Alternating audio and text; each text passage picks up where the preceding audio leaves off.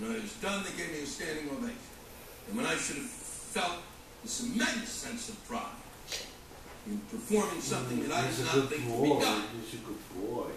Okay. at that point Relax. where I should have felt as proud as I've ever been as a Canadian, I felt like a hooligan.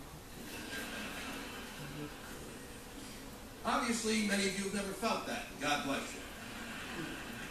But I did. I felt like a whore. I felt that really it would be more patriotic and I'd be better if I'd just been in like a little pink dress with a blonde fright wig and some rouge and glitter because the guys like that. And been blowing sailors who were going to leave for Iraq for five bucks a pop. And sure, they wouldn't have been happy, but neither would I. Okay?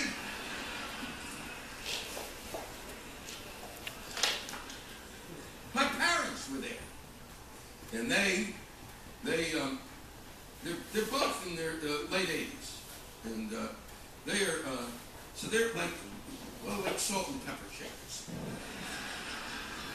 And No. and Paul Wolfowitz um, raced up to them afterwards, and you have to realize that Paul Wolfowitz is a neoconservative who's designed many of the uh, programs